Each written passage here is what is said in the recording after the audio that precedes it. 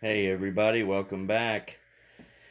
Just wanted to uh, show these here real quick. This probably won't be too long of a vid, but uh, made a couple things here for Dave from the uh, Really Big Monkey One channel, or uh, Fun in the Woods, he likes to call it too. Which, if you guys have never checked out his channel, you should. He's a he's a real good guy, and uh, boy, he comes up with some doozies, but uh, it's worth a watch, especially if you kind of like the longer videos. I mean, I do. If you're if you're not into long videos, you want to hurry up and get to the point. He probably ain't gonna be for you. But anyway, we'll get to the point. So now he didn't ask me for these. I uh, I thought he might like them, so I just made them up for him and uh, sent them to him. You know, so well by the time you see this video, he will have them. So obviously he doesn't right now. But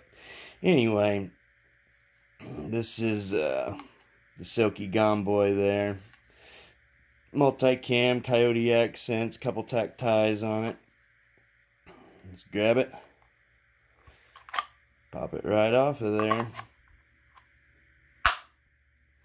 Nice loud click there not coming out no matter what you do. Pops right off. Nice. And then uh, Big Boy 2000 here.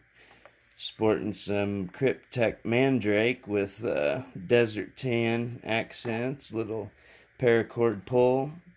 So I didn't want to uh, put any pack mount options on this one because it's so big and also because it's so big it's kind of hard to do that. I mean it can be done it's just difficult. So that's why we did this route here. You know nice and easy to pull out.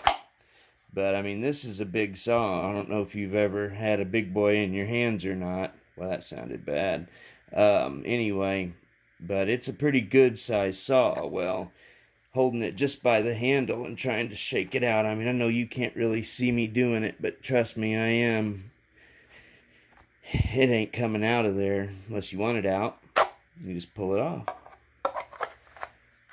But both of these have been made, you know, with standard spacing.